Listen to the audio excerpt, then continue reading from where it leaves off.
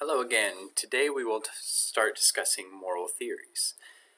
Now, um, this won't uh, we won't cover all the moral theories in one lecture. I'll break it up into two or three lectures.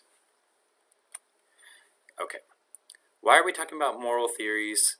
Well, moral theories will help you, you know, realize where different people are coming from in their moral commitments and um, you know, what sort of assumptions they're making when they're making a moral argument. Um, and so we'll get some of the major moral theories out on the table.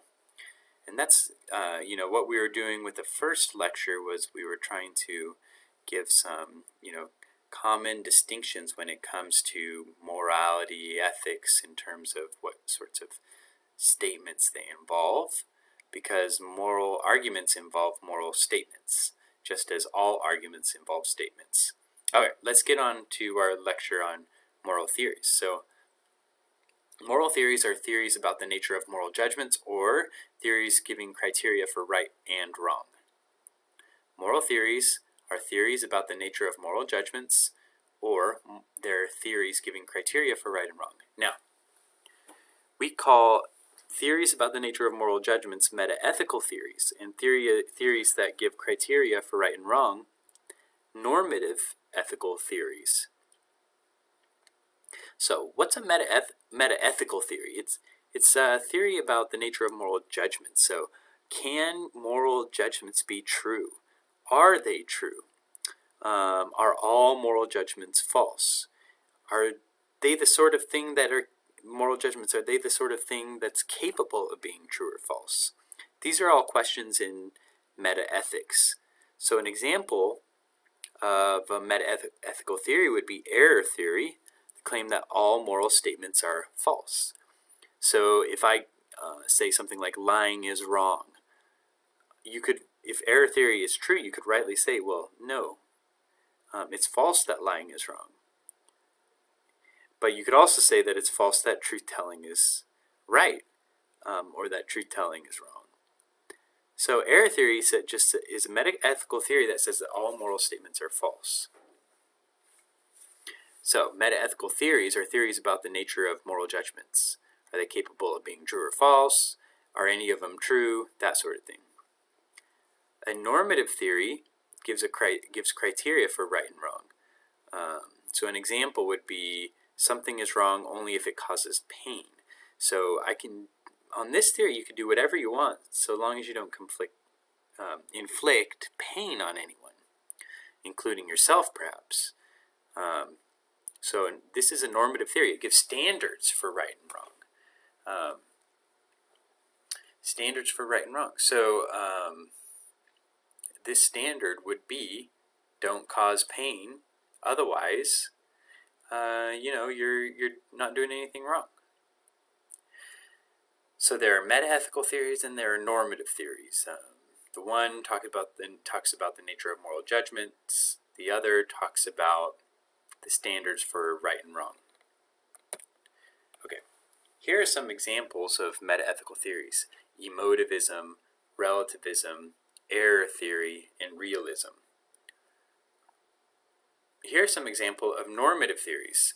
Consequentialism, deontology, virtue theory. And we'll talk about each of these in turn. Okay. For today, we're just going to talk about emotivism and relativism. So emotivism says that moral value judgments are not true or false, but they're merely expressions of our attitudes or emotions. So, you know, when we say something like murder is wrong, what we really mean is like murder, boo. You know, it's your, your expression of a negative attitude uh, about murder. And when we say something like kindness is good or kindness is right, you should act in a kind way. What you're saying is something like kindness, yay. So really, you're not saying anything true or false when you say kindness is good and murder is bad. You're merely expressing your likes or dislikes, your attitudes or your emotions. You can call this the Boo-Yay theory. And a good way to remember emotivism is that it has the word it has the word emotion in it. Emotion, emotivism, moral judgments are attitudes or emotions. But here's a serious objection to emotivism. Is the, the fact that people disagree about morality, I think we can all say that people disagree about what's right and what's wrong. Like just look at uh, Democrats and Republicans. They have different conceptions of what's right and what's wrong. Okay, these are this isn't a difference between Democrats and Republicans, but suppose that one person says killing is wrong and the other says killing is okay. Well, that you know that might be the case for abortion, right? Like um, where uh, Republicans say killing is wrong in the case of abortion, and Democrats say killing is okay in the case of abortion. Right. Actually, that's a good example right there. Okay. So, uh, you know, for the emotivist, these statements boil down to an expression of emotion. Killing, boo. Abortion, boo. Killing, yay. Abortion. Well, not yay for abortion. I don't know if anyone says yay for abortion, but like you know, abortion, it's okay, or something like that. I don't know. Uh, but, you know, this isn't genuine disagreement. So if you think that there really can be disagreement, if you really think there can be disagreement about moral claims, you know, that one person says killing is wrong, the other says killing is okay, then you shouldn't hold to emotivism because they say that uh, disagreement just boils down to expression of opposing emotions. So a disagreement is saying something like you say A and I say not A. You say A, and I say not A. But that's not what's going on when you express emotions, right? Where one, when you know, I think of killing, um, it makes me sad, or when the other person thinks of killing, it it makes them happy or apathetic or whatever. Uh, so they're not disagreeing. One just feels happy when they think of a certain thing, and the other feels sad when they think of a certain thing. To disagree would be to say, I believe killing is wrong, and you believe killing is okay. Um, so, it, in sum, if you think there's something, you know, if you think there can be genuine disagreement when it comes to morality, then you shouldn't be an emotivist because the emotivist there can't for on the on emotivism there can't be genuine disagreement, just different expressions of emotion. Now, what about relativism? Relativism says, first of all, that all moral value judgments are deter determined by a society's beliefs towards actions or behaviors. And the second statement is that there are no objective or universal moral value judgments. So all moral value judgments are determined by society's beliefs towards actions or behaviors. And the second claim is that there are no objective or universal moral value judgments. So on this, um, you know, like a moral judgment that uh, um, killing is wrong is determined by the society's beliefs about killing. So if the society disapproves of killing, um, then killing is wrong. If this if the if the society disapproves of stealing, stealing is wrong. If the society disapproves of lying, lying is wrong. If the society approves of truth telling, truth telling is right or good. If the society approves of kindness, then kindness is good. So morality is just determined by the society on relativism. If a society thinks that something's wrong, then it's wrong. If it thinks that something is right, then it's right. And there's nothing more to morality than that. But there are some objections to relativism. First, though, let's get to an argument for relativism.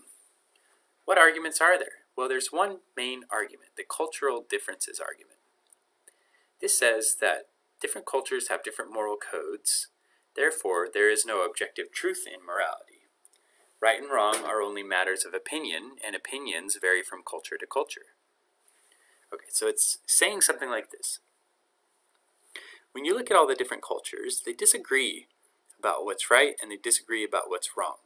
You know, you might visit Peru, you know, and they think one thing is right. And Then you visit um, the United States and they think the opposite is right. They think that the Peruvians, um, when they say that something is right, that, that they're wrong about that. Okay, so different cultures have different moral codes. Uh, one example would be like, um, you know, the Eskimos. Um, I don't know if they still engage in this practice, but the Eskimos uh, used to put their children out into the snow to uh, let them to expose them to the elements to let them die if they if they you know they didn't think they could support their um, their child.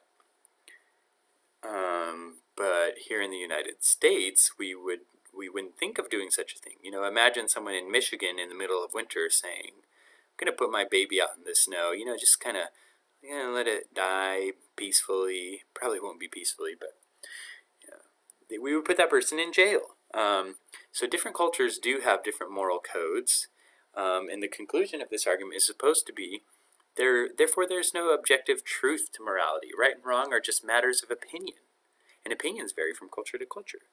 So we can't really discuss it, but what do you think of this argument? Is it good or is it bad? I would like to say something against the argument. This argument is bad. The, why is it bad? Well, it it's invalid. Remember we talked about uh, validity versus invalidity? Well, um, this is claiming that the conclusion follows, the conclusion two follows from the premise, premise one, uh, but it actually doesn't follow. Just because people disagree about something, it doesn't mean there's no truth of the matter. So it becomes clear when you compare it to something like science. You could say different cultures have different views regarding the uh, chemical composition of water. You know, here in the United States, we believe it's H2O. This is just a fanciful example. But over, you know, in Germany, those Germans, they believe it's XYZ. So different cultures have different opinions regarding the chemical composition of water. Therefore, there's no objective truth regarding the chemical composition of water. Obviously, that conclusion doesn't follow from the premise. Simply because two different cultures disagree about the chemical composition of water, it doesn't mean there's no fact of the matter regarding water's chemical composition. So just because two people disagree or two cultures disagree, it doesn't mean there's no fact to the matter. It, and, you know, if it doesn't work in the case of science, it, it won't work in the case of morality because uh, the argument is flawed in its very structure. Well, you know, that's my piece about that argument. Uh, but you, you, you can uh, think it over, decide whether you think the argument's good or bad for yourself. Okay, now that we're done with the argument for relativism, let's discuss some objections to rel relativism. So, if relativism is true, 1 through 5 is true. But 1 through 5 are sort of, I would call them bad consequences of relativism. Number one, no society is superior or inferior to another.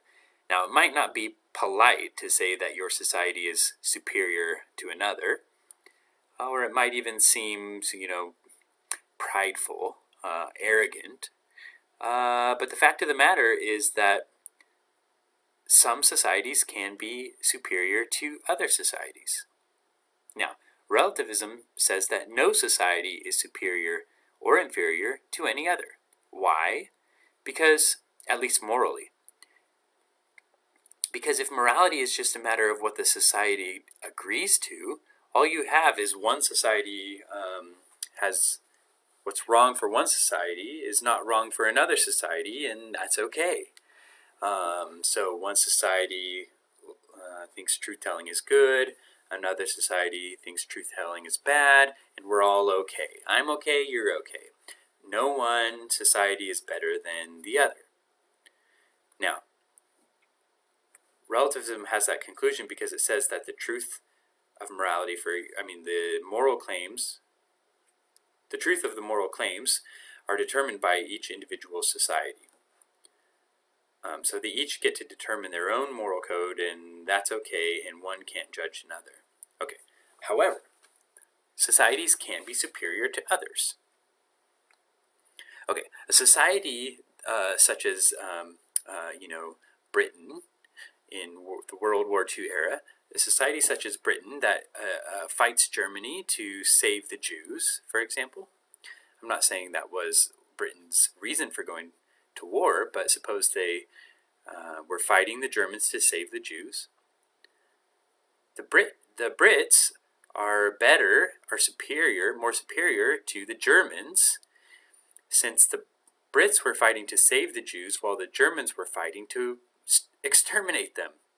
So we can say with certainty that Britain, in fighting on behalf of the Jews, is superior morally to Germany in fighting to exterminate the Jews.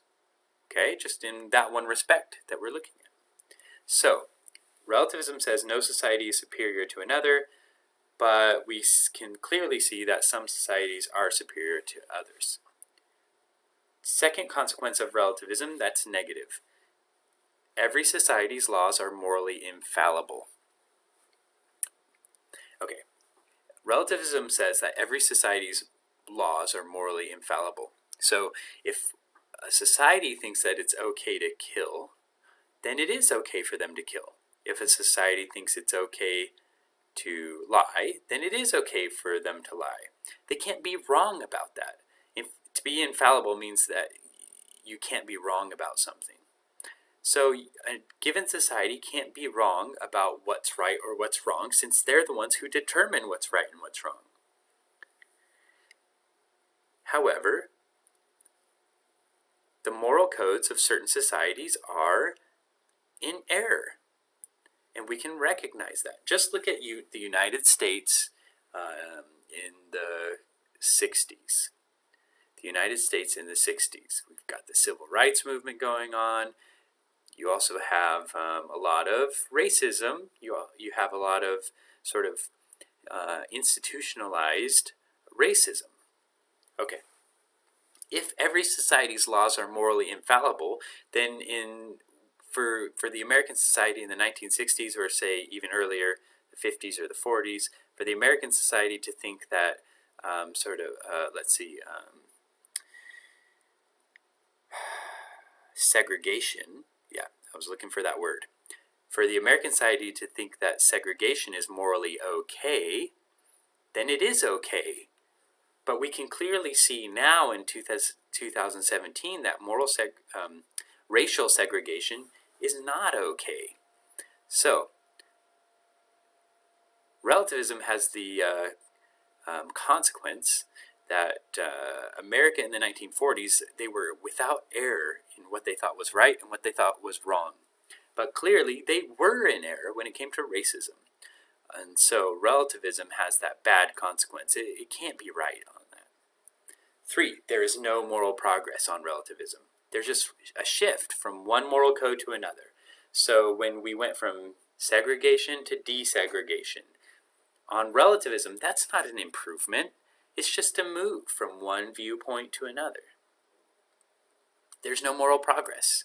So if you think, you know, MLK Jr. was doing something good, in fighting for desegregation, uh, peacefully fighting for desegregation, well, then you should reject relativism because on relativism, Martin Luther King wasn't doing anything good. He was just shifting the society from one moral code to another. But it's worse for uh, Martin Luther King. Look at four. Moral revolutionaries are immoral. On relativism, moral revolutionaries are immoral. Why? Because whatever the society says is right, is right.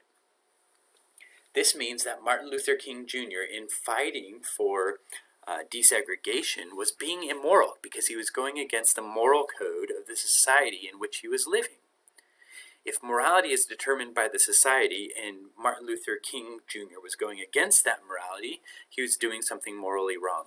But I think we all can say, I hope we all can say, that Martin Luther King Jr. was fighting for what was right and that he was not immoral for fighting for desegregation. If we can say that, then relativism is false. Finally, five, tolerance is only valuable if a society holds to it. So in America, United States, where we value tolerance, you know, um, that's only valuable because we value it. But in other countries where they don't uh, value tolerance. Say, I don't know, there's countries where they throw homosexuals off the roof of the roofs of buildings uh, if they find out that they're homosexuals. They're throwing them off of building simply because they're homosexuals. Now, I would call that uh, fairly intolerant to throw a homosexual off a building um, in order to kill them simply because they are a homosexual. Okay. In that society, they don't really value tolerance. And so, in that society, for them, tolerance is not valuable. Um, literally, truly, tolerance is not valuable. Because if you your society holds that something is not valuable, then it's then it really isn't valuable. If your society holds that something is valuable, then it really is valuable. So these are some uh, consequences of relativism. That if relativism is true, one through five is true. But it seems clear that one through five are all false. So relativism can't be true.